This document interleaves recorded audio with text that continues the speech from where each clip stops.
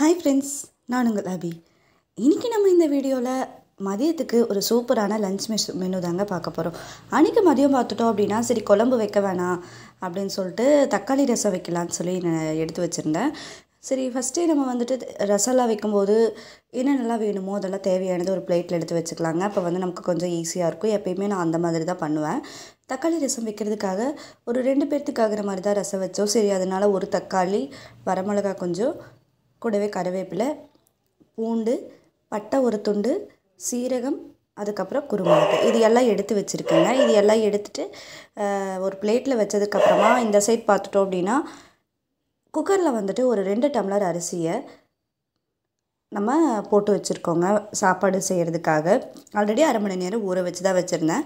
சரி இது வேகிறதுக்குள்ளாரவே வந்துட்டு நம்ம இந்த இடிக்கல்ல எடுத்து எடுத்து வச்சுருக்கிற பூண்டு வரமிளகா சீரகம் குருமிளகு இது எல்லாத்தையும் நல்லா தட்டி வச்சுக்கலாம் அப்படின்னு சொல்லிட்டு ஒன்று ஒன்றா எடுத்து தட்டி வச்சிட்ருக்கேன். இது எல்லாத்தையுமே ஒன்று ரெண்டாக நல்லா தட்டி எடுத்தாச்சு. இப்போ இது ரெடியாக இருக்குது அடுத்ததாக நம்ம வந்து ரசம் செய்ய ஆரம்பிச்சிடலாங்க. இந்த ரசம் வந்து கண்டிப்பாக நீங்களும் இதே மாதிரி ஃபாலோ பண்ணி பாருங்கள் எல்லாத்துக்குமே ரொம்பவே பிடிச்சதாக இருக்கும். ரசம் ரொம்ப டேஸ்ட்டாக இருக்கும். கொஞ்சமாக வந்து தேங்காய் விட்டுக்கோங்க. நீங்கள் வந்து நார்மல் குக்கிங் ஆயில் கூட யூஸ் பண்ணிக்கலாம். காஞ்சதுக்கப்புறமா கொஞ்சம் கடுகு சேர்த்துக்கோங்க.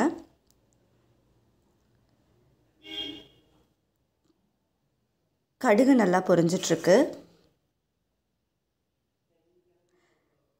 அடுத்ததாக சின்ன வெங்காயம் ஒரு ரெண்டு மூணு எடுத்து கட் பண்ணி வச்சுருக்கிறோம். அதை மட்டும் சேர்த்துக்கோங்க. ஒரு தக்காளி பழம் எடுத்து வச்சுருக்கேன் இல்லைங்களா? அதில் அதை வந்து நல்லா இந்த மாதிரி கையில் கசக்கி விட்டு பிழிஞ்சிருங்க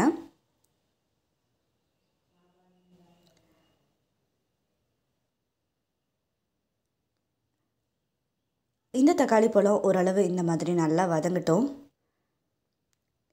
ஒரு பின் செலவுக்கு மஞ்சள் தூள் ஆட் பண்ணி மறுபடியும் இதை நல்லா வதக்கி விட்டுருங்க. அதுக்கப்புறமா ஒரு ரெண்டு டம்ளர் நான் தண்ணி சேர்த்துருக்கிறேன். தண்ணி சேர்த்துட்டு நம்ம நல்லா இடித்து வச்சுருக்க பூண்டு ஜீரகம் குருமிளகு கருவேப்பிலை காஞ்ச மிளகா இது எல்லாத்தையும் சேர்த்துக்கோங்க. நான் இன்றைக்கி காஞ்ச குடமிளகா தான் சேர்த்துருக்குறேன். எல்லாத்தையும் சேர்த்துட்டு நல்லா மிக்ஸ் பண்ணிடாதீங்க. அப்படியே வச்சுருங்க. அடுத்ததாக கொஞ்சமாக இதில் நம்ம பெருங்காயத்தூள் ஆட் பண்ணிக்கலாங்க. நான் இன்றைக்கி இதில் ரசப்பொடியெல்லாம் எதுவுமே சேர்க்கலைங்க. வேணும்னா நம்ம வந்து கொஞ்சமாக ரசப்பொடி இருந்துச்சுன்னா கூட ஆட் பண்ணிக்கலாம்.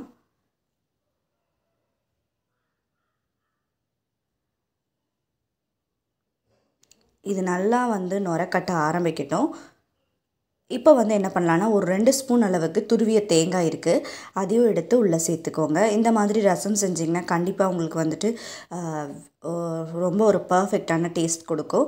நம்ம வெறும் ரசம் அப்படின்னு சொல்லும்போது யாருக்கும் பிடிக்காது. அதனால் இந்த மாதிரி தக்காளி ரசம் கொஞ்சம் டிஃப்ரெண்ட்டான முறையில் செஞ்சு கொடுத்தோம் அப்படின்னா எல்லோரும் விரும்பி சாப்பிடுவாங்க. நமக்கு குழம்பு இல்லாத ஃபீலிங்கை வந்து இது ரீப்ளேஸ் பண்ணிடும் மேலால் வந்துட்டு கொஞ்சமாக மல்லித்தலை தூவி விட்டுட்டு நுரக்கட்டணத்தையுமே நல்லா ஸ்டவ் ஆஃப் பண்ணிக்கோங்க.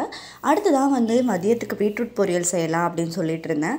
அதுக்குள்ளே வந்துட்டு சரி அம்மா வந்து கீரை ஒரு வீட்டு வந்து இருந்தாங்க. அதனால் கீரையே செஞ்சிடலாம் முருங்கைக்கீரை அப்படின்னு சொல்லிட்டு முருங்கைக்கீரை பொரியல் செய்கிறதுக்காக கீரைலாம் உருகி போட்டாச்சு. ஃபஸ்ட்டு அதில் வந்து ஒரு பேனில் கொஞ்சம் எண்ணெய் ஊற்றி வரமிளகா அதுக்கப்புறமா கொஞ்சமாக பெரிய வெங்காயம் சேர்த்துட்டு கீரையும் போட்டு நல்லா வேக வச்சுட்டு லைட்டாக ஒரு கால் டம்ளர் அளவுக்கு தண்ணி மட்டும் சேர்த்து மேலால் அது ட்ரை ஆனதுக்கப்புறமா தேங்காய் துருவலை தூவிட்டு இறக்கிட்டோம்னா போதும். நமக்கு ரொம்ப சூப்பரான கீரை பொரியல் ரெடி ஆகிடுச்சு நம்ம வீட்டில் எப்போவுமே கீரை பொரியல் செஞ்சோம்னா ஃபஸ்ட்டு கீரையில் தாங்க சாப்பிடுவோம். அதனால் சாதம் போட்டுட்டு கீரையை போட்டு சாப்பிட்டுட்ருக்கேன் அதுக்கப்புறமா ரசம் ஊற்றி சாப்பிட்டுக்கலாம் அப்படின்னு சொல்லிட்டு கண்டிப்பாக வந்து கீரையை வந்து வாரத்துக்கு ரெண்டு மூணு முறை செய்கிறோம் கண் உணவில் சேர்த்துக்கிறது ரொம்பவே நல்லதுங்க.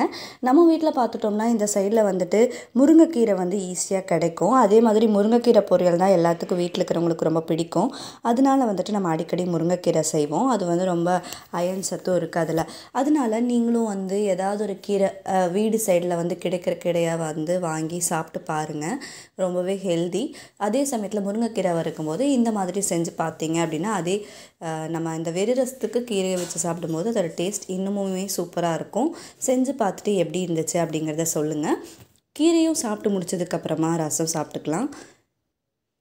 நம்ம கீரை பொரியல் செய்யும்போது தேங்காய் கொஞ்சம் அதிகமாக சேர்த்தோம் அப்படின்னா சிலர் நான் ரொம்பவே டேஸ்ட்டாக இருக்குங்க. சிலர் ஃபீல் பண்ணுவோம் கீரையில் வந்து கொஞ்சம் ரொம்ப கசப்பு அதிகமாக இருக்குது அப்படின்னு சொல்லி நினைப்பாங்க.